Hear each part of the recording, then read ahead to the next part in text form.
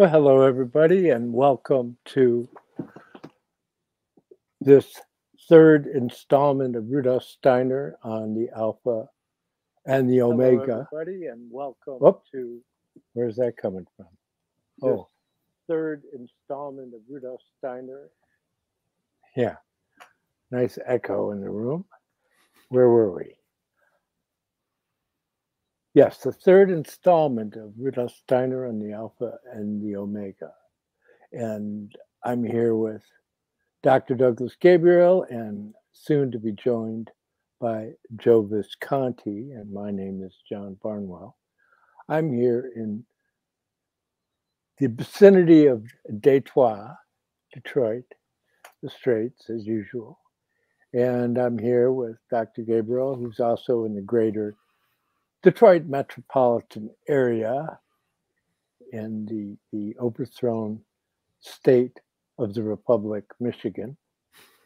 And we're here with Joe Visconti, who lives in that hotbed of manipulation, uh, the state of Connecticut, of which he actually ran for governor at one time and, has actually served on a city council and run numerous offices. But we're not going to talk about politics today. There's more important things to address. But Joe is also uh, Emmy Award winning videographer, and he is the president of the American Shakespeare Theater and a lifelong anthroposophist like Douglas and myself. And so, hello, Joe. Hello, guys. Well, I thought that you know I'd, I'd launch it off today with this this like wonderful, wonderful quote of Rudolf Steiner's because that's who we generally speak about, and and so I'm going to share this just to to give us a, a bit of a rudder on our conversation. This is from the Principle of Spiritual Economy, Lecture 10, The God of the Alpha and the God of the Omega. It was in Berlin on May 25th in 1909. It's Collected Works, Volume 109. And he says, regardless of whether you regress or progress, whether you seek God in the Alpha or in the Omega, you will be able to find him. What is important is that you find him with your own heightened human power. Those forces necessary to find the God of the Alpha are the primal forces of the human being. However, the forces necessary to find the God of the Omega must be acquired here on earth by striving human beings themselves. It makes a difference whether one goes back to Alpha or forward to Omega.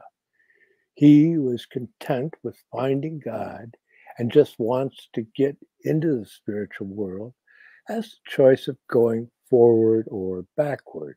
However, the individual who is concerned that humanity leave the earth in a heightened state must point the way to Omega, as did Zarathustra.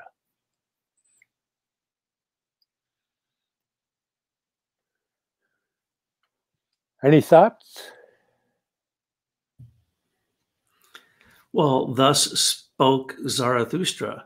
I mean, yes, indeed. Uh, the future, Omega, is what we have to think about because it's coming at us, and most of the time it brings fear. And uh, when you look to the past, then you're going to really definitely get caught up in all kinds of problems.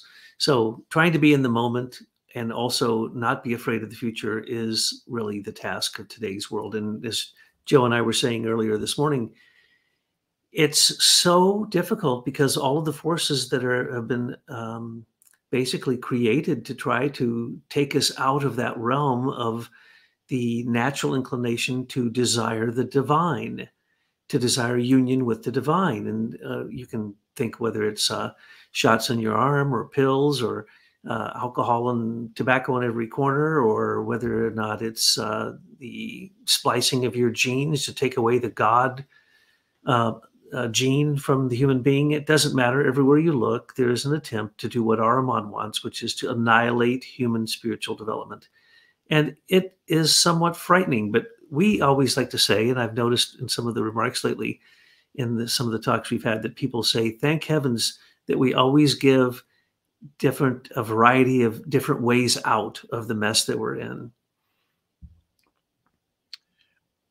Well, I'd like to say that um, the uh, and I've mentioned this before, the atmosphere we're living in across the world, not just America, across the world, the atmosphere, the spiritual atmosphere is just full of lies and conflict, rumors, doubt, fear. Um, it's conducive to the incarnation of Ahriman. And um, and so we are living right now, right here in real time, biblically, uh, for an incarnation. And many people say, well, when will it come in 2030, 2040, 2080? Um, how much worse can it get with the lies and everything we're feeling in this atmosphere of, uh, of polarization, people trying to defend lies and truth? So I think we're very, very close. Uh, the next step would be uh, what we saw in Nazi Germany or in uh, Russia, where we had communism and we would lose our complete rights. I mean, we're one we're one step away from that totalitarian takeover. We've watched it uh, come around all of us, and I think it's the prayers in this country, the uh, instinct that Rudolf Steiner said the Americans had an instinct very hard to enslave us because of our instinctive nature. Uh, he didn't like love us that much in America at the time, but we do have that, and we uh, through Russia, I believe, will be the hope of the world, but it's going to be um, really this this oppression we're feeling, uh, and the lies and the inability for people to defend the lies or say anything. I mean, I'm flying some pretty radical flags on my house in a horrible uh, communistic town here, and people's heads are politically blowing up because of it, um, and they can't stop it. But it's the, this the oppression is here. It's and I, and I always like to tell everyone keep the faith um, even if you can't speak out there are people that can speak for you because if many people say things on social media or whatever i mean they're going to be sent to human resources if they're going to be divorced and fired and live under a bridge in a box there's you can't speak. Already we can't speak so where they're ramping up um, is ramping up this totalitarian um, power, um, and it's being fed with lies. And I think lies are the best thing because we all can see in real time. The whole world that has a phone can see everything at once. And there's no lie in the evidence. You know, Hunter laptop, not to be political, but it's there, and it, everyone sees it. And yet, no justice can be done. No law enforcement. There's no one in charge. The lies are in charge. Yes, and and that gets into the the crux of the matter, and it kind of uh, connects us with uh, the talk I did the other day with Douglas, in that we were discussing the meta narratives, the cultural meta narratives that throughout history have, have been presented to the populace in uh, attempt to get them to toe the line, whatever the line that line might be for that particular imperium. Nonetheless, this has gone on. You can see it on clay tablets, Mesopotamia, in cuneiform, and you can see it on the temple walls in Egypt. You know, with Pharaoh smiting his enemies. So there's always going to be this kind of a uh, spectacular drama that we're faced with. I remember a few years ago thinking, mankind has finally got to the point to where if they use the kind of resources that are available that they could actually lift uh, mankind up into a better uh, state of living. But the powers that be th- that doesn't help them with their version of what they think is going on. And so right. you have this struggle. You have this.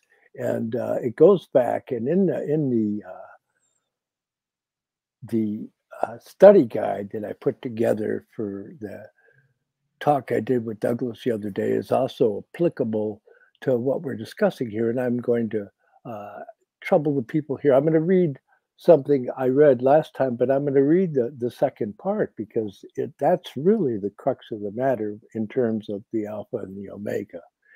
And this is a, a quotation that I'm getting from uh, Rudolf Steiner, and that's from a course for young doctors. Uh, it took place on Easter of April 24th in 1924. And uh, now I have to get back where I was here. Uh, yes, here it goes. Christianity itself appears in the world as something that can only be understood slowly and by degrees, and for an external, though not an inner point of view. It is very strange that the deeper sides of Christianity have, in reality, not been fathomed at all by human beings. Christianity came into the world as an objective fact, and the receptive faculties of man were not strong enough to develop the real essence of it in all directions. The objective consequences, therefore, are that Christianity is everywhere living in the subconsciousness, but that for three or four centuries it has been completely ruined by man. Human beings ruin Christianity through their intellect. As well as this, there are terribly dilettante institutions that have been set up in recent times at universities. Originally, there were four traditional uh, faculties, namely philosophy, theology, jurisprudence, and medicine. The rest have been added, have been based on utter unenlightenment and misunderstanding. Faculties for such subjects as political science, national economy, and the like originated from thoughts which no longer knew anything at all of the essentials. What has not been understood is, is uh, at all is that to begin with, four men were sent out by Christ to claim Christianity Matthew, the theologian, Mark, the jurist, Luke, the physician, and John, the philosopher. This fact which has very deep roots in spiritual life. Things are at present only in germ and have yet to blossom and bear fruit.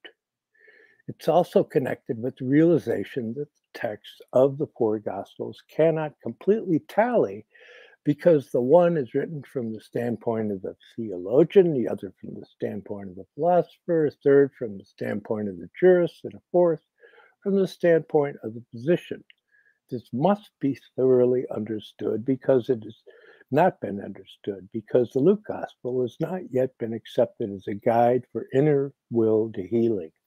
There is no truly Christian will to healing in modern thought.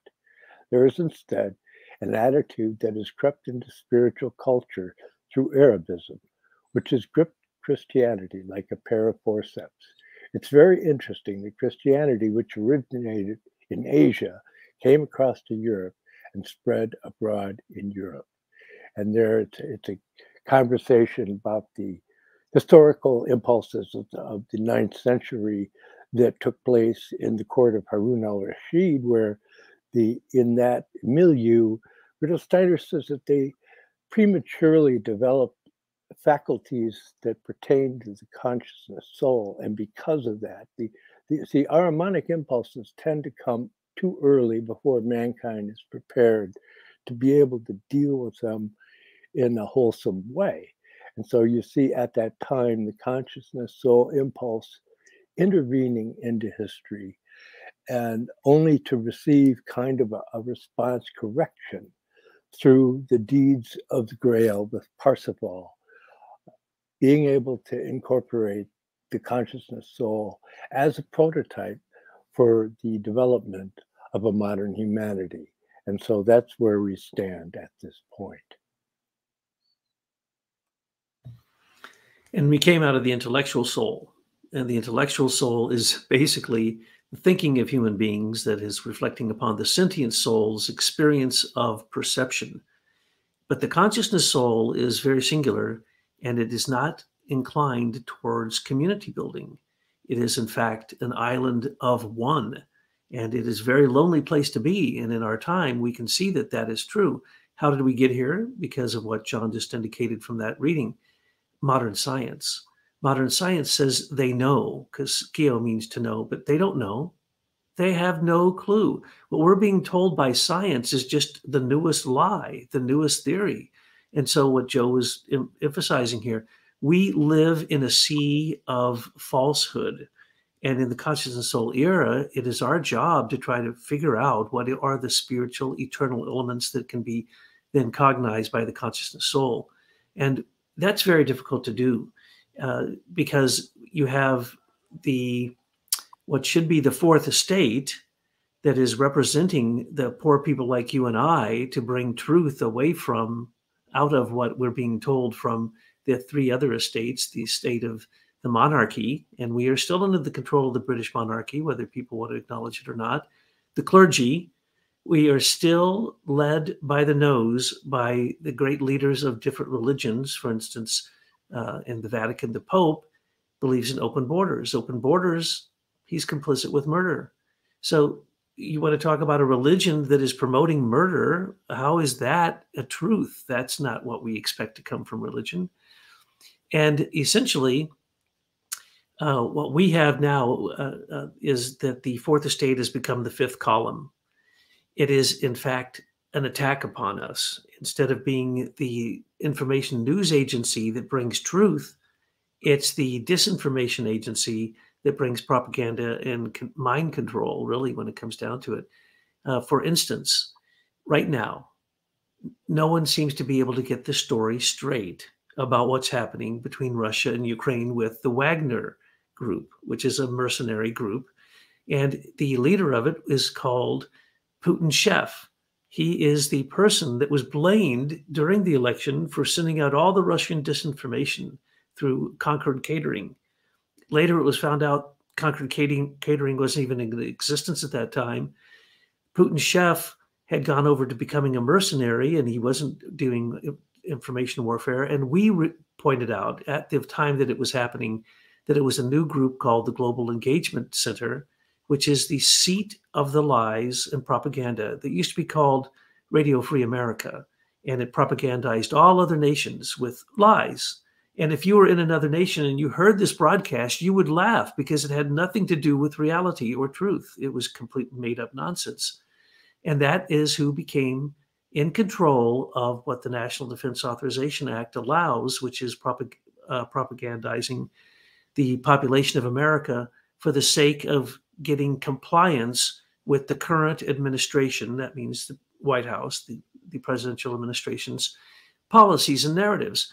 And so we pointed out that it was the British uh, Strategic Communication Laboratory that has a sister group called um, Cambridge Analytica. And those two groups were blamed on the Democrat and Republican side for creating all of this disinformation that was on the internet was blamed on Russia, but it was actually the groups I just mentioned that was doing it. So it is hard to tell with the fact checkers who are not fact, they're not checking facts, or the Ministry of Truth, which are basically the new forms of squelching free speech upon the social network systems. All of those are paid for by people who have a lot to gain by manipulating the minds of those who are listening. We know that $1.5 billion of that came from Eric Schmidt. A lot of it came from Mark of the Zuckerberg. Uh, a bunch of it came from George Soros, as we know. The, these were billions of dollars given to make sure that the current lie, whatever the current lie is, it's like the current theory in science is settled science. No, it's not. Tomorrow they'll come up with a new theory, and the old theory is a lie. It's a blatant lie because it's never withdrawn. And you create elemental beings called uh, specters and phantoms when you lie. And if you don't call them back and uh, rectify those lies, they go on living as separate entities, which then can become demonic. And that's what we're facing in this age. It's a disinformation program that is so profound that you can't even imagine it. And it's extremely difficult to discern. I, I love the pickup right here. Um, John, you had mentioned something um, in what you read about life what's coming in as we talk about this, moving around from the politics, which is basically policy making and the way you live your lives. Uh, and people think, well, religion, spirit, no, no, their politics is everything. They want to completely take over every aspect of reality in under politics and suck in everything about it. But this is really um, science. Uh, what we're looking at today is healing Where's healing anymore? The doctors work with the body and the body heals itself. They don't know how it heals itself. Why wouldn't they work more towards discovering how the body heals itself and tap into that reality versus what's really happening through big pharma? And so what we have is we have um, kind of wrote this down while we're while we're while we're talking here, and um, it's really lies against truth, and uh, it's basically organic life through the etheric versus digital life through electricity.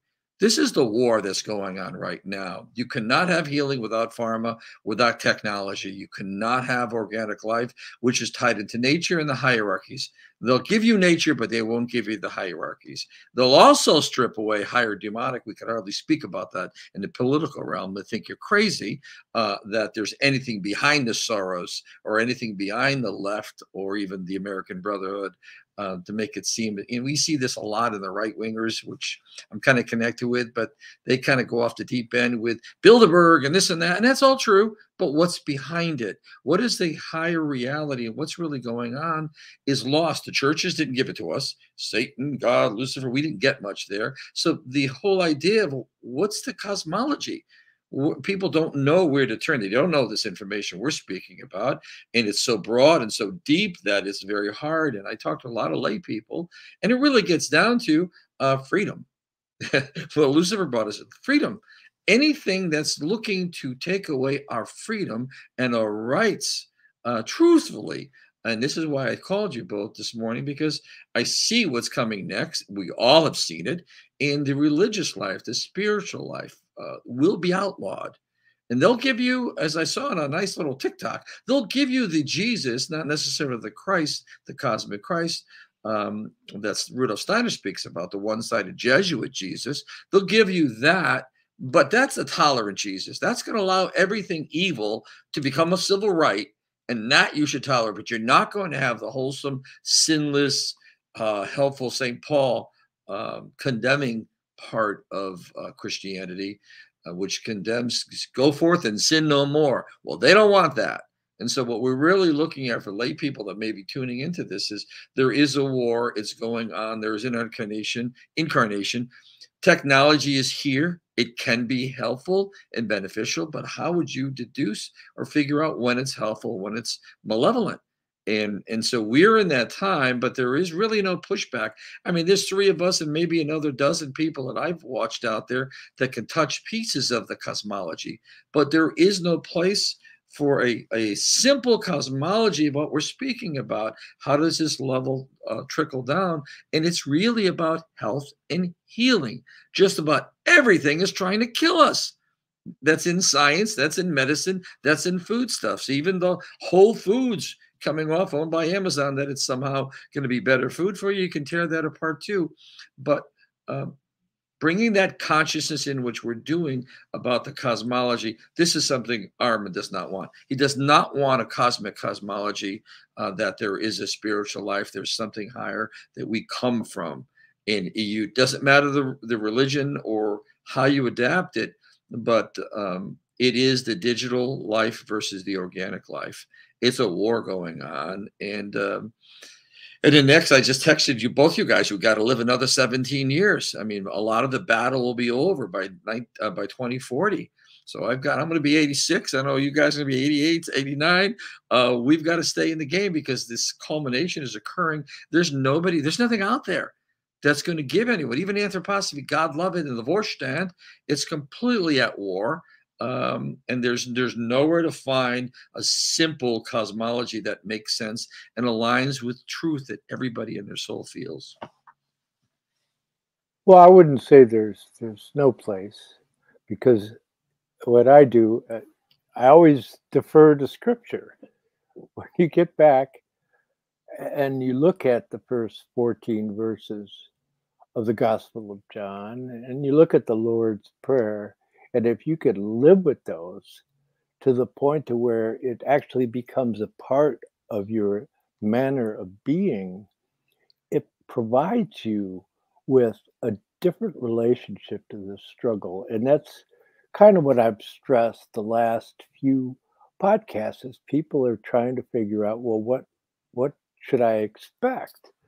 And I was telling a friend the other day, and I said, well, you know, when you seriously begin to work with the principles of spiritual science, it becomes a different experience when you go to sleep because it helps align you with that that Christ impulse that's that's over overlighting all of mankind, waiting for us to take up the challenge and and strive towards it in our waking life so that we can be refreshed through its influences in the world of sleep at this point. Eventually, mankind will evolve to a point to where they will be able to receive that guidance from Christ himself while they're in their waking state, which is well, that really kind of would boggle the mind of, of your typical scientist, but that's what we're talking about. And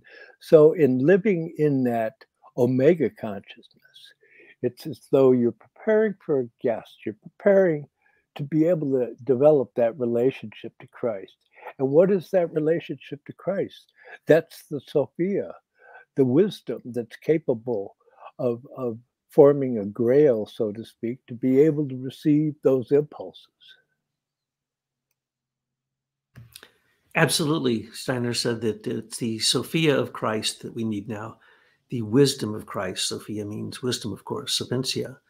And that's what we need. We need a cosmic Christ so that you can get a cosmology, so you can, when you hear these things, you can actually analyze them. And John is right. It really, there is a space, and the space is very simple one law.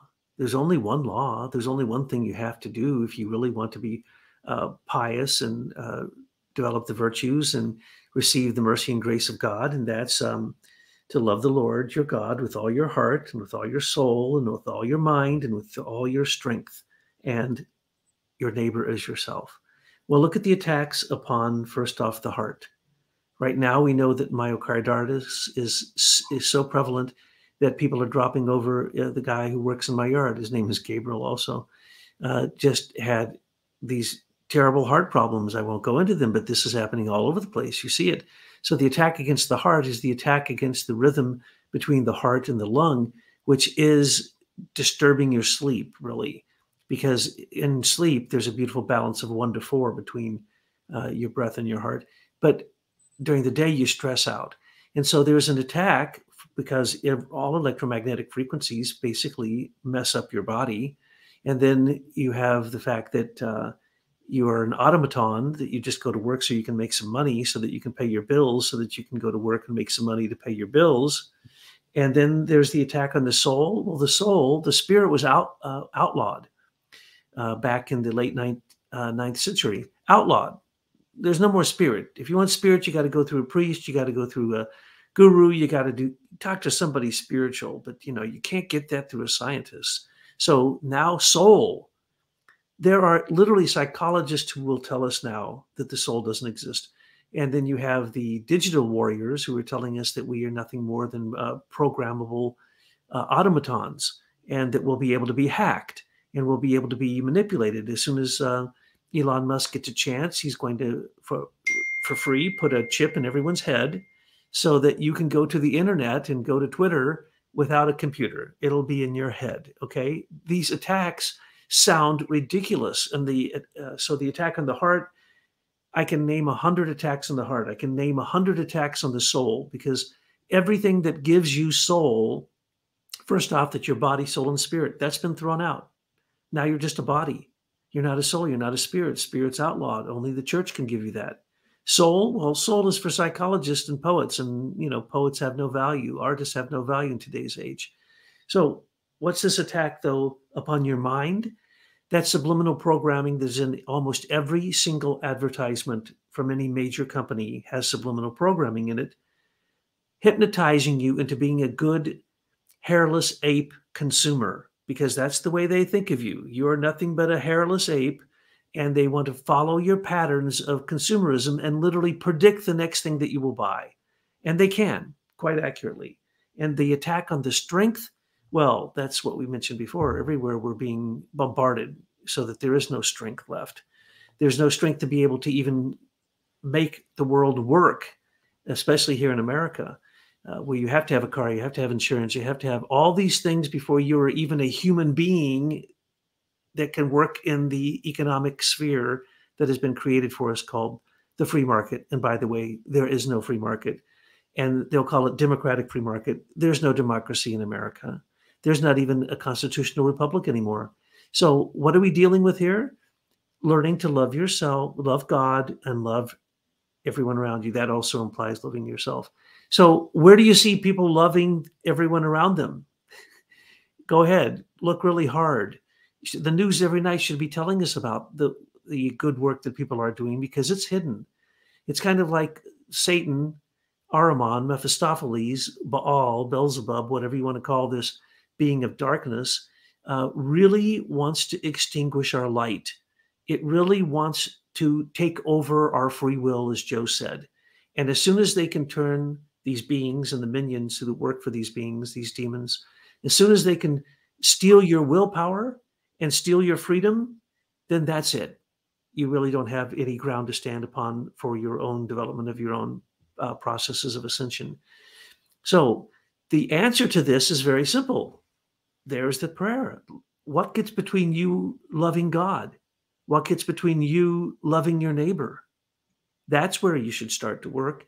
And most of the really great things I see that counteract globalism and the uh, what they'd call the New World Order and the elite billionaires of the World Economic Forum work on a local level, grow a garden, create a garden club, buy from your farmer's market, buy from your own area, empower your sheriff in your own regional area, in your own county, because the sheriff is more powerful than any federal force. Federal force is now been so exaggerated. It's hyper control, it's hyper materialism, it's hyper uh, propaganda, and it's hyper manipulation. And at this point, it's perfectly legal. These things are on the law books. They can do these things. They can subliminally control you through any kind of device. There's nothing that says they can't. And so, in this age, we have to find our own path. And as we do, discernment is one of the most important things so you don't get killed by your environment. And then, one good rule love God with all your heart, with all your soul, with all your mind, with all your strength, and your neighbor as yourself. Yes, and love God, love the hierarchies, love the be- spiritual beings that are here to bring us this uh, information and this grace. Uh, because God, according to the Bible, and that's another paradigm problem, because an old man with a gray beard and that cosmology is is got to be updated a little bit. I think it does. I think I mentioned before on the show how I I went around one day asked everybody anywhere I was coffee shop, do you believe in angels? Do you believe in angels? I think one person out of a hundred said no, I don't. Everybody said they believe in angels because really, again, where where's the war again? Uh, turning us into machines, techno machines, or or us becoming angelic in the future. And so again, people do. I I do have faith in a common man, but I do understand that people are really having a hard time wanting to voice how they feel. They're not lukewarm. They're afraid to talk. They're afraid to speak. And um, and so this is really one of the problems. And I, I kind of came up with something. I think you all have mentioned it before, and it's about memory and about thinking process. This is pretty simple. I tell everyone I know where are your memories stored? No, really. Because if we cut the gray matter in your brain, we're not going to find any, you know, any integrated circuits or monolithic structure in there where memories can be retrieved. Where are your memories stored with your emotions and your ability to recall sense and smell and touch in your mind? Of course, your brain is working with something, but it's not in your brain. It's not in your heart. It's a muscle. This is just tendons. Where is the thinking apparatus stored that's actually uh, conceiving concepts? And when we kind of look up and we think, and if you start to talk to people about that immediately, they don't know because science can't prove where memory. They're going to tell you about the synapses and the activity of brain activity, which is true like the heart. But where are the memories? Where is the database for your life Science can't tell you. We know it exists because we all live it. And right there begins the fallacy. Again, the problem becomes for people when I talk to them, like, you're right. And then they get afraid, but, well, but what? Because their cosmology, which is twisted from being raised in this century, doesn't know what to do next. Because if you remove that, they become afraid. Well, then what do I believe in? Because this complete overshadowing of Ahriman materialistic thought and education starts to creep in on their mind when you open it to show them that there is no memories in your body and they'll believe it but there's you can see fear come right over them. The subject has changed after i've watched it i've monitored it because they don't know. They didn't if they don't build this cosmology or at least as rudolf steiner said with the philosophy of spiritual activity which he renamed from the philosophy of freedom the spiritual activity is not seeking it is not prepared to seek to wonder and be okay with seeking and wondering in an adventure. If you remember as a kid, we go in the woods uh, and go off, and you go so far with my sisters, and all of a sudden it's like, wait a second, are we too far from home? How do we get back? You know, you get the feeling you kind of go back home before you lose the ability to find home. Well, they don't have the ability like we do. We're off as adventurers like Lewis and Clark, thousands of miles in the spiritual world and all this, all these things that that we study and we we think on and we meditate on it and we wonder about. So we can go millions of miles away from ourselves and come back. They can't. They have the ability, uh, the average Joe, to want to, but the education, false religions has put this capsule almost out over their mind. And that's where kind of working out, they have to spiritually work out um, and not just have the simple faith of the John Gospel or the Foundation Stone or so many other methods. That's all great and that's there, but getting them out to want to uh, the general public to find a path. Almost like this, I'm growing my hair like John the Baptist. I'm to get a, one of those big overcoats and a staff and get on the corner like with the homeless people. Hey, no, really. But if you think about it, it is a problem. People do want to, but fear takes them over. Fear they don't know, they don't understand, and they don't even realize. I see it. I'm sure you all see it. And I think really that's where, and the more oppression that comes on, the more searching for and wanting to speak out, but speak against what? The authority of Rome and government? And so the, the general public is in a quagmire right now. And I think they're all bubbling collectively. I don't care what side of the aisle or what you believe, everyone is bubbling right now thinking it's a good thing. That is a good thing. It's chaotic, but it's a good thing. And I do have faith in God and faith in the human being. Um, but there will be a lot of uh, collateral political damage in the next seven years coming from where the establishment it wants to bring us. Yeah, and when you talk to people that uh, try to strive into the realm of what we would call apocalyptic thinking, which would be the type of thinking that looks forward to the Omega rather than looking so much backwards to the Garden of Eden that they're looking forward to the New Jerusalem, but that's a difficult study. And I mean, if one really wants to, to take that challenge up, then there's nowhere else to go except for uh, the scripture itself. And it's interesting to note that, that when you look at that, you, and if you look at what Rudolf Steiner's indicated, although there's many people out there that saying we're at the end, these are the end days and all that. Well, in light of spiritual science, well, these are the beginning of of an end. It's like there's it comes in waves and and we're experiencing one of the waves, uh, the apocalyptic waves that going into the the uh, period of the seventh trumpet, you know, and that yep. we have that challenge coming up, and everybody has to be able to. What is a trumpet? It's some. It's a sounding.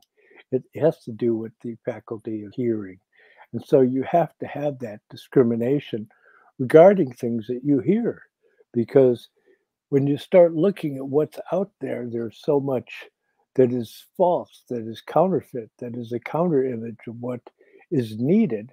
You have to take responsibility for your own thoughts. You can't let your thoughts be provided to you from outside too much because that's the ultimate trap.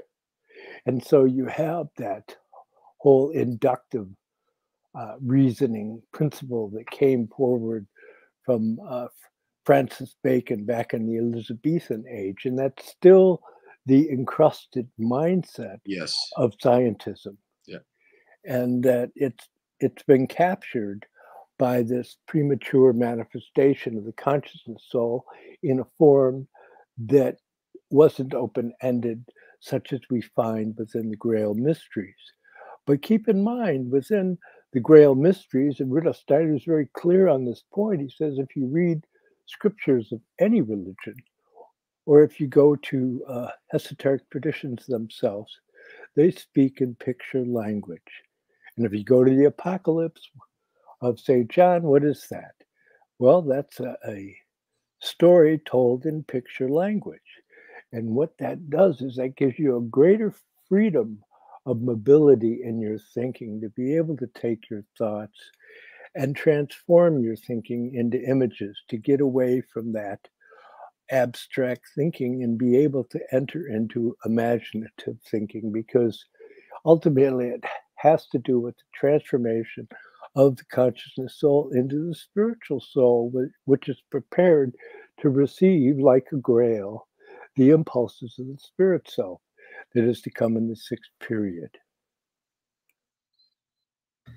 Yes, and Francis Bacon, of course, uh, as well as basically the modern materialistic science that came out of Jundi Shapur and the Arab influence that came across northern Africa and into Spain that started our universities in Europe. These type of idols, that's really what they are. The, it's like the golden calf.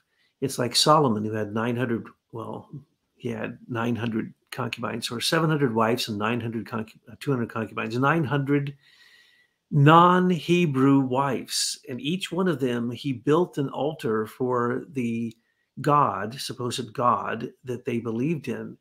Those are all idols. And oftentimes the idols and the gods of the Mesopotamian area later became demons uh, as reinterpreted by others at a period afterwards. So, what is good at one time may be very evil at another time. So, what are the idols that you worship? That's whatever you do. What do you do with your time? Where do you put your focus? Where do you put your meditation, your prayers? Whatever that is, that's what you worship. And so it's really best that, in a way, that you keep focused to this one single rule, which is to love God with all your heart. We'll leave it at, at that and your neighbor, uh, because that is not an idol. That is uh, basically the whole picture of Alpha and Omega. And what does the book of Revelation say? it says that it, it is Alpha and Omega, a description of the manifestation of Christ from the time that the angels were thrown from heaven to the incarnation to, of course, the woman with the moon beneath her feet coming forth, bringing the new Christ into being, which is you, which is her child that will rule the nations with an iron rod. And it is a fantastic victory story for Christ. The Omega of Christ is the complete redemption of all, even evil. And so when I look at the book of Revelation, yes, I can see all the different challenges and the the, the, the bowls of wrath and the angels that are blowing the trumpets and all these horrible things are all happening all around us, yes. But that happens as you approach the threshold of the spiritual world when you're an initiate. So an initiate already has all of those things happening to them, probably already has happened to them, and they've entered into a uh, stage towards the Omega, which, like Paul, he was raised to the third heaven. There are also seven heavens, and others have been raised, translated like Enoch and Melchizedek, uh, Isaiah, uh, Ezekiel.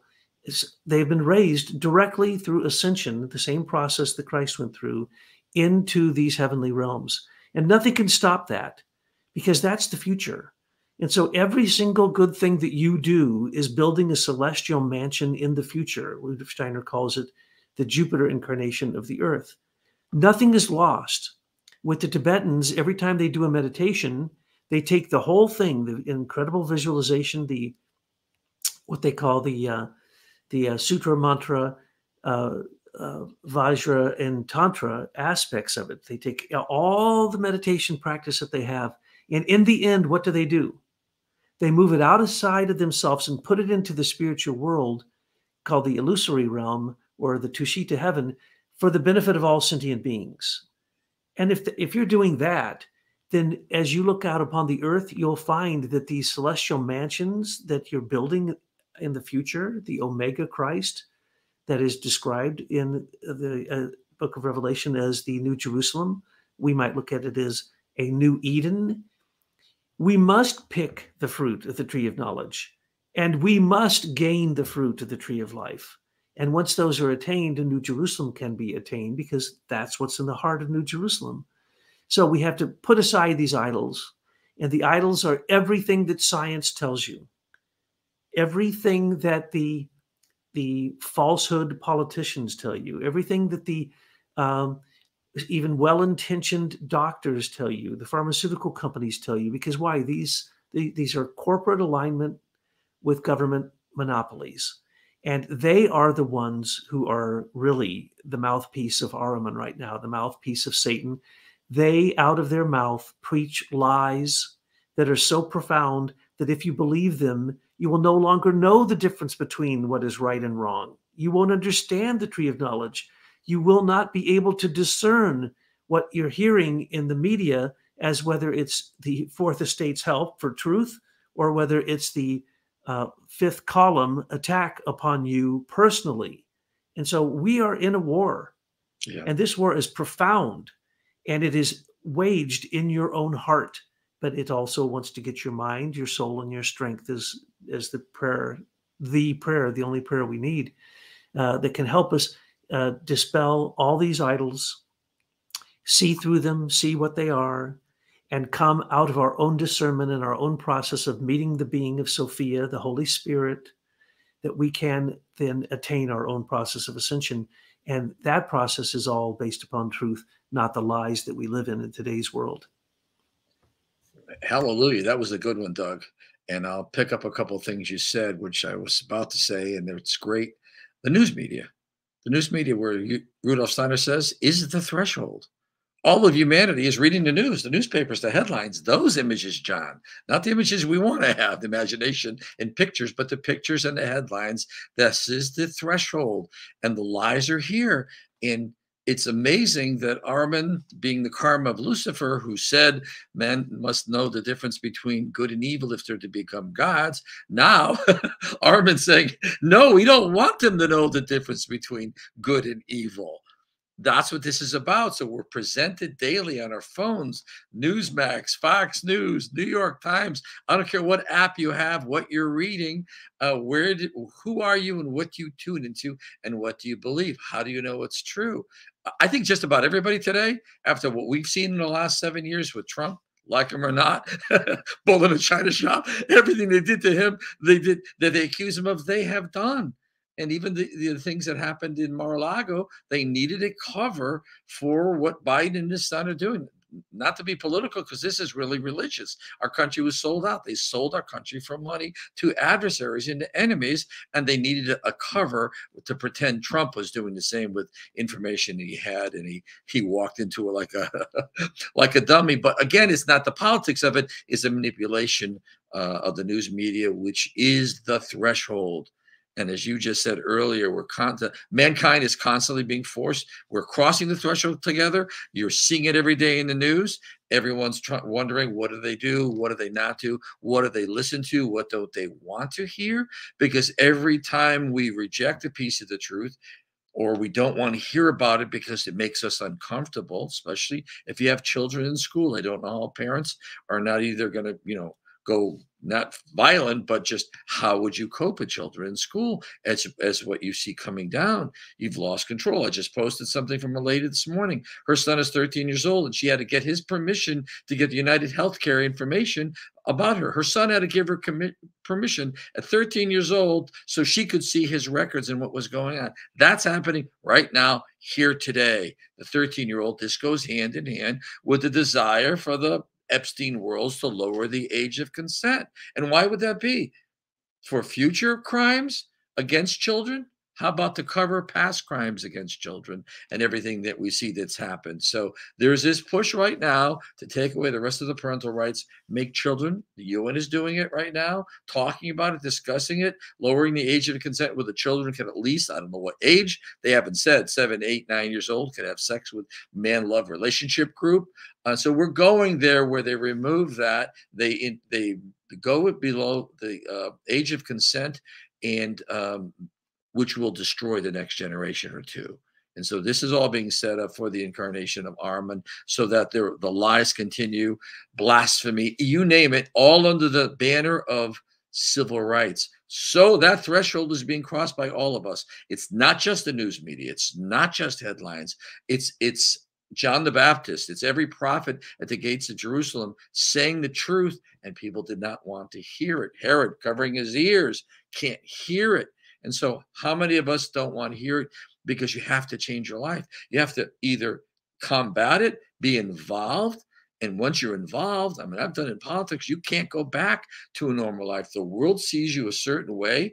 That's what you're going to be. If you're a truth teller, they don't want you in working for a corporation you may say something about what you see they're doing wrong. So truth tellers are are left out. So people are afraid to even think about the truth. And this is where uh, not knowing the difference between good and evil. That's where the battle is right now.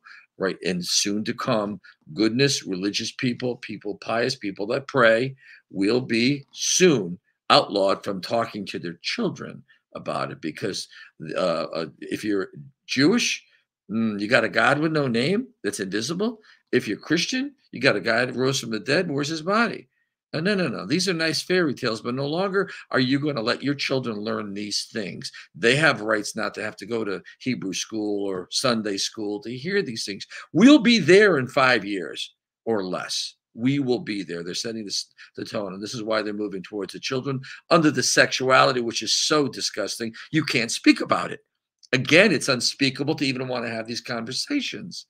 And so, if I was going to run for office again, what am I going to do? I'm going to debate a, someone, I'll call him a Democrat, a Republican that's all for transgender and all this stuff being taught to third graders. Huh? We're going to have that conversation? That's the debate stage? It's unspeakable things that they, and so you can't speak about them. And, uh, but everybody knows, but nobody knows what to do about it and we're really, really in a in a biblical choice. It's like a a dividing line. The, I mean, we're being split. You're either going to say something or you're just going to remain silent. And if you're silent, listen at home. You're condoning it. If you don't have the courage to speak it out, which you could lose your job for, then and then be living under a bridge, or you have to be quiet and condone it and whisper. And so this is a really telling time, biblical but it's a great time. So we've seen the transition from Christianity into what we could call it mammonanity. yeah. Yeah. Or uh, mammonology, you know, that uh, this whole idea of uh, the worship of mammon is what we're being force fed. And that's, that's very, very clear. And of course, elsewhere in scripture, it says, you know, my name is Legion. Well, what does that mean? That means Legion. That means there's a whole bunch of, of them in that army that's going to put you through all these changes. And it's all for your own benefit. Keep in mind that, that Christ is with you.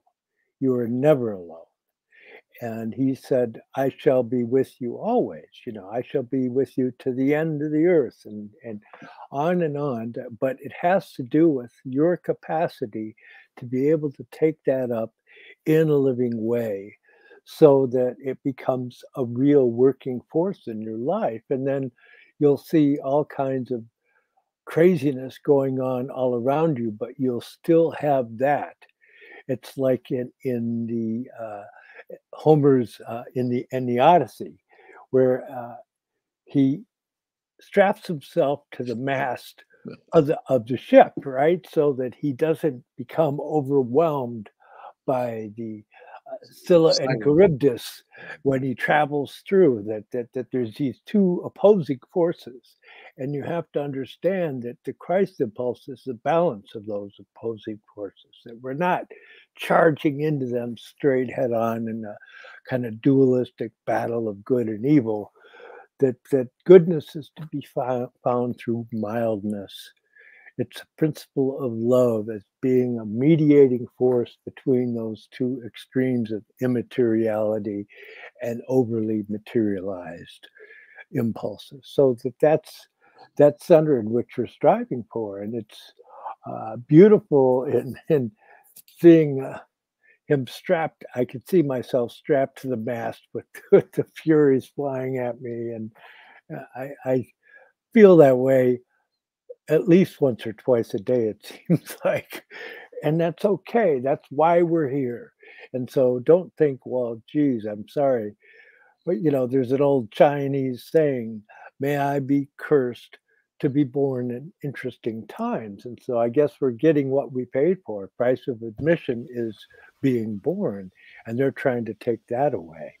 So let's be glad we're here and be glad to know that there are resources out there that Rudolf Steiner's 350 plus volumes of work is out there for those that are diligent that wish to study or just spend your time before you go to sleep with the 14 first 14 verses of the gospel of john and the lord's prayer and just consecrate your sleep so that you gain the greatest benefit from it and it's as to regards to this podcast, it gives me a wonderful opportunity to to discuss these things with my dear friends and have all kinds of people out there eavesdropping on our conversation. And but this is made possible by Douglas and Tyla. And but also I want I want to call out Vadim, who's out there in Central Asia somewhere, has been very helpful and you just got to love this guy. He's just out there. It couldn't be farther away. And so I want to say hi to him, call him out, and also all these other people that have helped make this a wonderful experience for myself in my wishes to share with you the wisdom of these two gentlemen. Well, I'm glad you did that, John, and and don't forget to mention your book. But I'll hold it up. There it is. This is one of the best books you can get that's going to help you understand the cosmology that we keep referring to. And I just want to underscore what Joe said. We're all on the threshold between the physical and spiritual world. We, as humanity, are being pulled across, and your fear, your doubt, your hatred come up to bite you like the Furies. And so that's what's happening to all of humanity right now. So the good news is for those who become initiated and conquer their fear, doubt, and hatred, with, of course, uh, love, char- you know, charity, grace, mercy, all the higher virtues.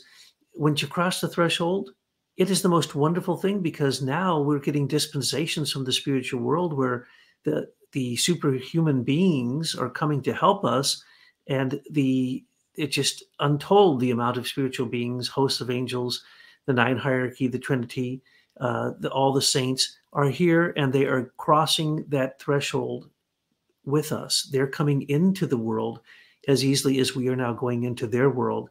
And that means that this is the greatest time for new revelations. So if you really study the apocalypse, don't get hung up in the fact that, yes, everyone must face their fear, doubt, and hatred the seven headed, 10 horned beast, the two horned beast, all these horrible things. But those are part of yourself. They're also part of what humanity needs to create in our age. So the good news is, as John pointed out, in the future, we will be walking side by side with Christ. We will no longer just have to listen carefully to the small whisper of your conscience. You'll be able to turn to Christ and ask, What will be the karma that will arise if I do this deed that I wish to do? And in those days, for those who are initiated, you will not do deeds that create negative karma because Christ will be there on one side, Sophia on the other, to balance out what Lucifer and Ahriman are giving you as temptations, they will be the redemption of that those temptations. And so we need to be thankful in our time that yes, these are interesting times, but at the same point, they are times for basically hyper advancement for those who are awake. I have something just quick to say. And mammon and dark forces are seeking to crucify the Christ in me. Don't join in with them. Recognize what that means in the etherization of the blood, what it really means. The Christ is in us. They're attacking him in each of us. This is not just about us inside this ready made body. It's about Christ in each of us that is being crucified in our time and during his second coming. Don't join in. Differentiate between good and evil, between what is helpful. Don't let them put him on the cross in your soul. Yes, and, I want to thank you both so much. And for those of you that have joined us now and those that join us later, it's in the up to, utmost humility that I remind you to strive with wonder, awe, and reverence.